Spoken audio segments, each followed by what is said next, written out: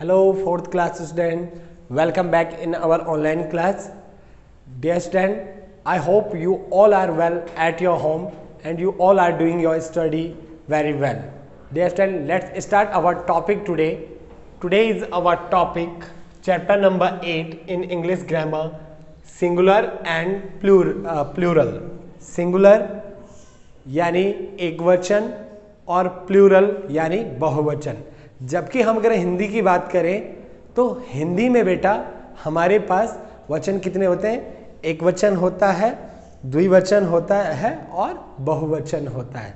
ठीक, पर जब हम इंग्लिश में बात करते हैं तो हमारे पास ओनली टू ही होते हैं, जिसको हम कहते हैं सिंगुलर एंड प्लूरल यानी एक वचन और एक वचन के साथ साथ सीधे बहुवचन। ठीक है तो let's start our topic today be focus on to the board first singular singular यानी एक वचन सिंगुलर यानी एक वचन ओके व्हाट इज़ सिंगुलर क्या है एक वचन एक वचन क्या है ठीक है when a noun refers to one person, animal or thing, we say that the noun is singular. यानी बात कर रहे हैं यहाँ पर सिंगुलर की जो डेफिनेशन है डेफिनेशन को समझते हैं। अगर आप डेफिनेशन को समझ गए तो आपको वहाँ पर पूरी तरह से समझ में आ जाएगा कि सिंगुलर है क्या चीज़। तो when a noun refer to one person यानी जब जो नाउन हो नाउन हमने पहले ही आपको बताया हुआ है कि जितने भी नेमिंग वर्ड्स होते हैं, ठीक है, वो सब किसमें आते हैं? नाउन यानी जब नाउन क्या करे, ठीक है refers to a one person एक ही व्यक्ति को क्या करे? बताए। यानी दर्शाए वो एक ही व्यक्ति के बारे में बात कर कर रहे हो तो वो कहा जाता है सिंगुलर चाहे वो एक व्यक्ति हो, एक एनिमल पशु हो, या कोई एक ही चीज़ के बारे में बात कर रहे हो तो उसको कहा जाता है सिंगुलर ठीक है? Said that the noun is singular कि कहा जाता है कि वो क्या है? सिंगुलर है। ठीक है? एग्ज़ाम्पल देख लीजिए, यहाँ पर हमारे पास बॉक्स ठीक है? बॉक्स बॉक्स मीन से होता है संदूक। तो एक बॉक्स हो गया, ठीक है? तो वो बॉक्स क्या है? एक है। एक बॉक्स की बात कर रही जा रही है, ठीक है? गोज यहाँ पर दिया हुआ है गोज गोज यानी जंगली जो बर्ड्स होती है गीज ठीक है? बतखें होती है, जो जंगली बतखें होती हैं, उनको गोज कहा जाता है। अगर वो अकेली है, यानी एक ही है एक होगा, एक बतख होगी, जंगली बतख होगी तो उसको कहा जाएगा गोज। ठीक है? ऐसे ही हम कहते हैं चूहा। ठीक है? तो ये है माउस। माउस मीन से चूहा। यानी एक माउस आपको नज़र आ रहा होगा तो वो कहा, कहलाएगा माउस। ठीक है? अब आप यहाँ पर देखिए, फुट। आपका एक पैर है, यहाँ पर एक पैर है तो एक ही जो पैर होगा, अगर एक पैर है तो उसको फूट कहा जाता है। दूसरा है man M A N man man mean से आदमी, यानी मैं जैसे बात कर रहा हूँ तो मैं अगर अकेला हूँ तो मैं मैन हूँ, ठीक है? यानी सिंगुलर हूँ मैं तो मैन सिंगुलर है। ऐसे ही यहाँ पे टूथ हमारे बहुत सारे दांत होते हैं। अगर हम एक ही दांत के बारे में बात कर रहे हैं, यानी एक ही दांत को दिखा रहे हैं, जैसे ये वाला तो ऐसे हम उसको कहेंगे, ये क्या है?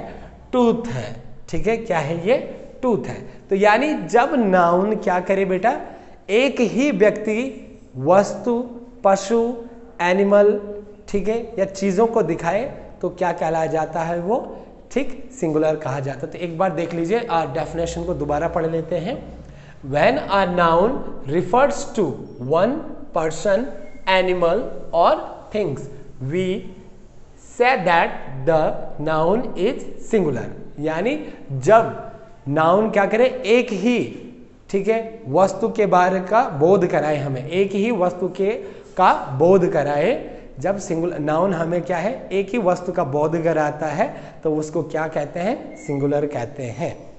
नेक्स्ट हमारे पास है बेटा प्लूरल वॉट इज़ प्लूरल कि बहुवचन क्या है? देखो, बहु मीन से बहुत, ठीक है? बहुत वचन मीन से नाउन, जिसको हम कहते हैं संज्ञा, बहुत सारी चीज़ें। तो बहुत सारी, यानी एक से अधिक। एक से अधिक अगर दो भी है तो वो क्या है? बहुवचन हो गया। आप यहाँ पर देख रहे हैं, मेरे पास एक पीस ऑफ़ चौक है।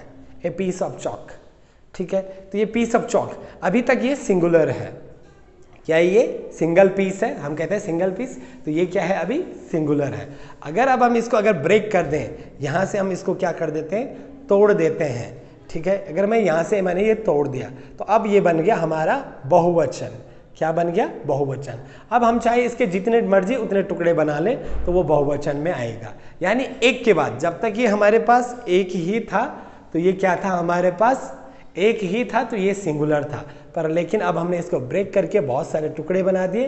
अब ये क्या हो गया? बहुवचन हो गया। अब बात करते हैं बेटा हमारे यहाँ पर प्लूरल की। ठीक है?